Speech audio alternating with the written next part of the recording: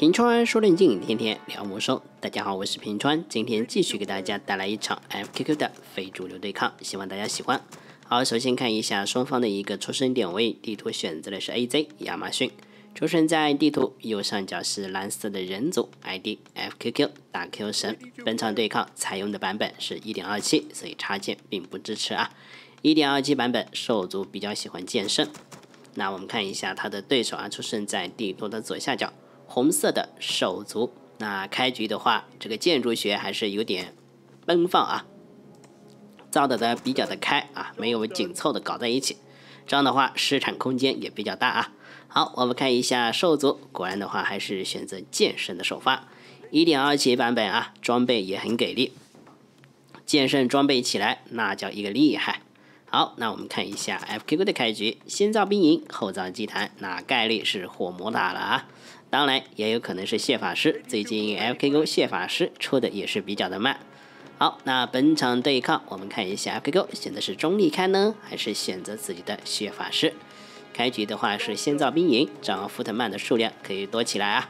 好，第一个福特曼先去侦查一下啊，看看对手到底是哪样一个情况。兽族的话，建筑学依然是这么的奔放，当然奔放当中也是很细的啊。这个地洞随时保护自己的这边不会被火魔塔。如果这个地洞也造里面，那这个基地，那这个兵营就很危险了。好，剑圣走出祭坛上来的话，先练小点。那剑圣嘛，还是先搞好装备才行。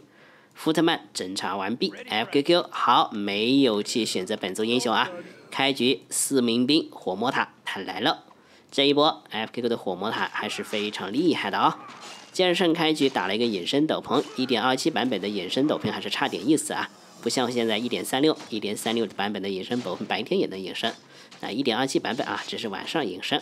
好，那你这个商店有可能造不好了，可以 FQQ 抓紧一个机会啊，只要对手商店不好，那你剑圣后面这个状态就很难恢复了。好，那 FQQ 塔造哪里呢？那只能往这边来造了啊。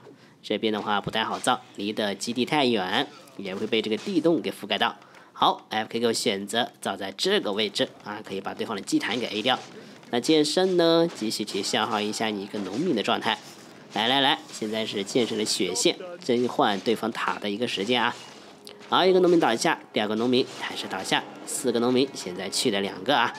好，火魔现在状态还可以，兽族的话必须等自己的商店啊。好，战争模仿也安排好了。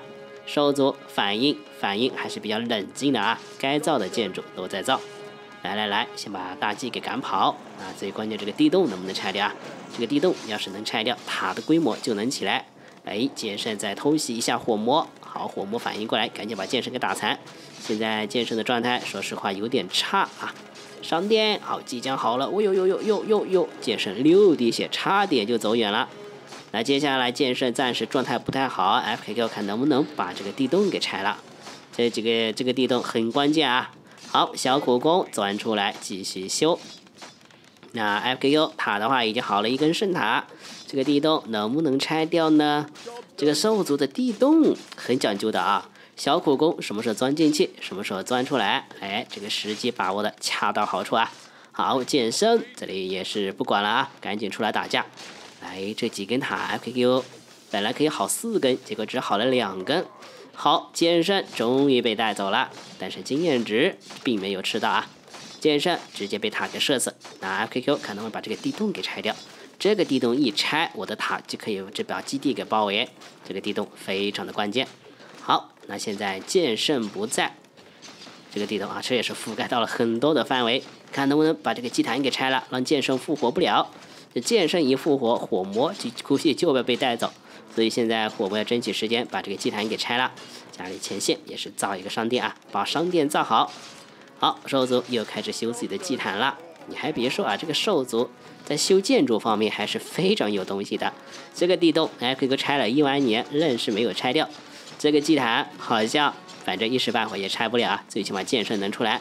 那剑圣出来，火魔的话就危险了啊！火魔看看能不能找个机会，找个地方安安心休息一下。啊，剑圣疾风步一开，嘿，他居然先把福特曼给清理掉。好，剑圣的话还是非常有梦想的啊，并没有第一时间只怼英雄，该杀英雄就杀啊，不杀也可以。好，剑圣要不要贴个加速？追着火魔，火魔最喜欢你追着我走了，是吧？你只要追我，我家里的塔，我后面的塔就慢慢造起来。好，终于把这个祭坛给拆了啊！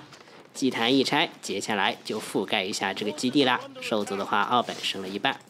火魔呢，继续被剑圣给追。剑圣买了鞋子，跑得快啊！来来来，继续去追。火魔现在没有鞋子，TP 能交吗？好像也不能交啊，交了也白交。来，火魔能不能送野？好，他交 TP 了。交 TP 了，他交了之后，哎，看这个地洞能不能拆掉。好，兽族还是反应过来了啊。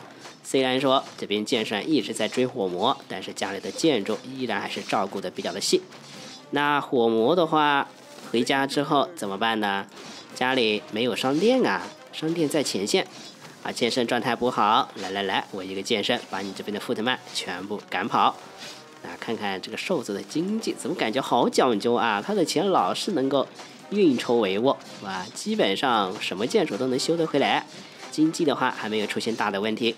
好，FQQ 火魔单传到前线，来来来，吃个药膏啊，补一下状态。那剑圣呢？剑圣身上的蓝有点少，那只能再休息一会儿补一补。好，兽族现在终于有钱可以出车子了啊！这车子一出，FQQ 的塔想推进就有点难了。现在 FQQ 还是一本，意味着他根本出不了小炮啊！想赢必须得二本了。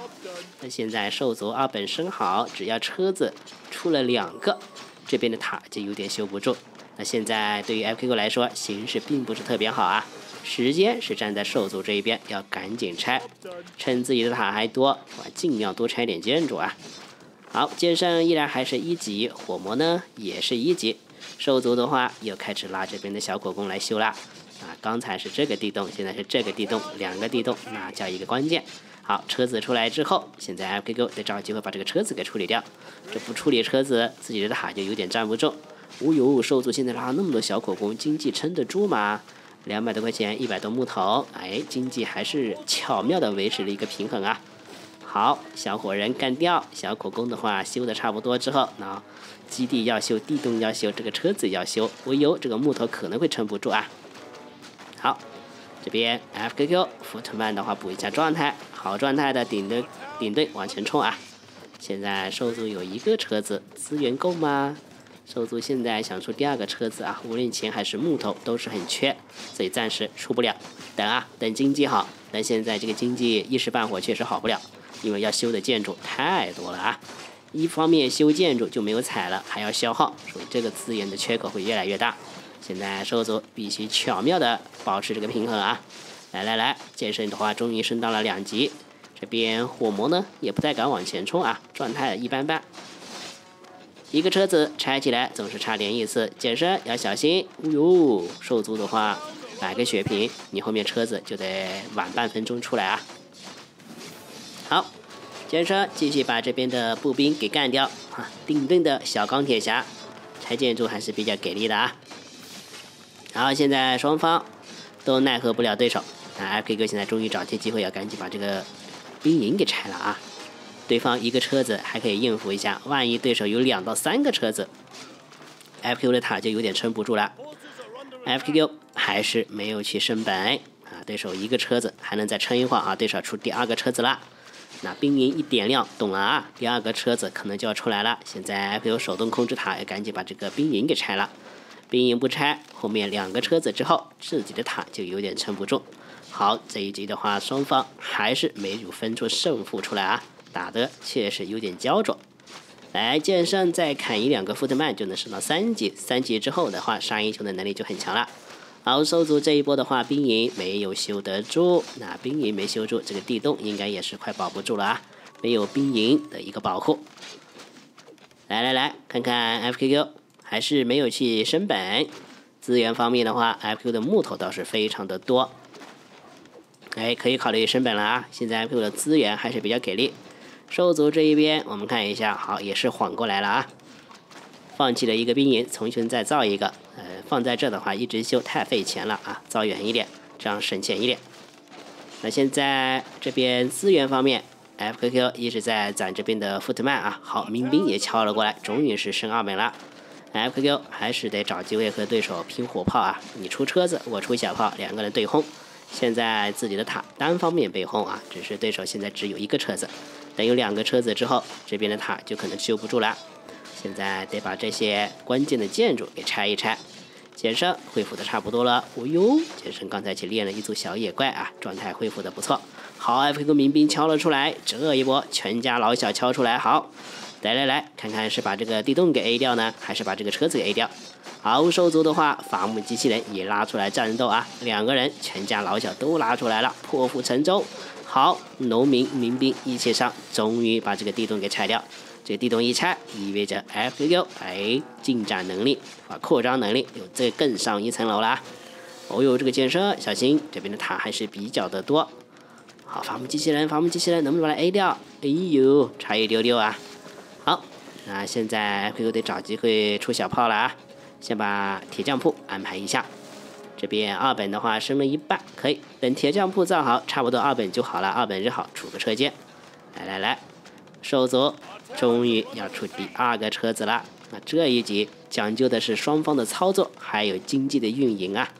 来，这边 F Q 买了两本群补啊，先吃一本群补再说，再补一本群补。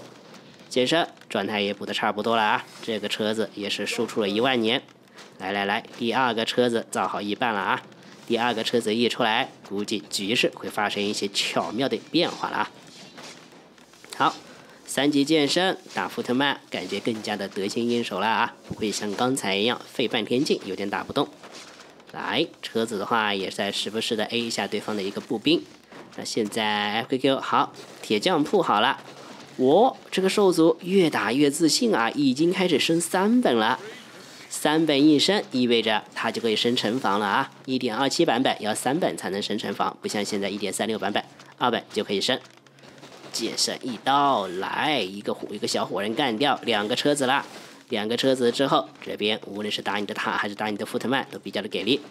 剑圣，来来来，有没有残血的单位可以输出一下？哇，一个福特曼真的是被砸的粉身碎骨。现在第三个车子马上也出来了，这 FQQ 感觉形势有点难受啊。好，车建好了，要开始转小炮。那小炮出来之后，可以和对手对轰啊。来，两个车子把福特曼给 A 掉，小钢铁侠也有点撑不住了。剑圣即将升到四级，哇，一个粉身碎骨，剑圣升到四，那怎么办？FQQ 现在有点，嗯，不要说推进啊，这边的建筑感觉会被拆啊，一个一个被拆。好，第三个车子它也要出来了。第三个车子一出来，那接下来 F K 的塔可能会有点撑不住。F K 哥怎么办？F K 哥现在是出了第一个小炮。两个人要开始对轰了。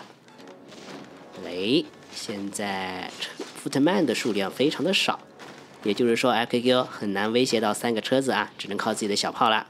看看自己出三个小炮之后能不能轰得过对手。现在 F Q 唯一的优势就是自己的塔可以点到对手的基地，让对手的经济啊没有那么舒服，得花钱各种维修啊。来来来，这根塔要修住，一时半会的话没修住，自己这边的塔就撑不住了。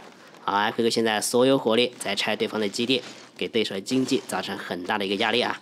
建设四级打一级的火魔，哦呦，这边的农民被这三个车子 A 的有点缓不过气来啊！怎么办？F Q 感觉这个形势有点不太对劲儿。资源方面，兽族的话一百多、三百多啊，兽族的经济还是比较比较的紧凑。F Q Q 的话，我们看一下后面怎么玩。一级火魔有点冲不进去。好，兽族三本升好了。三本升好之后呢，后面这个剑圣要不要买个电球啊？现在资源应该不太够。好，FQQ 的话，现在钱直接花了出去啊。现在塔 FQ 塔有点撑不住，好，剑圣直接来把一个小炮给干掉。哇，四级剑圣这个叔叔确实给力。哎，剑圣别上头，他还是还是怕吧呀，打不过。好，FQQ 啊发了一个大法师。哎，大法师几个暴风雪效果可能会很不错啊！哦呦，这里 A 下去，小炮有点站不住啦。那剑圣四级再打下去，可能要升到五级啦。兽族现在我们看看这个经济啊，一百多、两百多，我这个经济兽族的经济还是比较比较的，没有多余的钱出其他的东西。那现在大法师一过来，有没有洗暴风雪？好，五，这个暴风雪要了亲命了啊！这个暴风雪一砸，兽族的经济踩不了了，后面这个钱估计起不来。那现在这三个车子升好燃油之后啊，输出也非常的爆炸。来一，剑圣把大法师给干掉。哦呦，剑圣小心，剑圣小心。哦呦，他再加上小炮，哎，哇，大法师暴风雪一出来，形势完全就不一样了啊！这个兽族好像有点撑不住了。哇，暴风雪远程输出就是不一样啊！来，车子有点撑不住了。那现在小炮对轰，兽族现在只有两个车子了。好，剑圣反杀火魔，大法师坐里面，他掩护一下，有飞机在，剑圣疾风步没啥用。哇，大法师一出来，这个局势完全就不一样了啊！兽族现在经济有点撑不住了，三十九四十多。哎呦，兽族的经济不行，FU 又敲了一波民兵过来，小炮狂轰乱炸，好，兽族打出了 GG。哇，本以为。就要见到曙光了，这没想到大法师一出来，局势完全就不一样。我们恭喜 FQQ 这一局双方打的势均力敌啊！好，喜欢本场对抗的朋友，记得点一波关注，我们下个视频再见。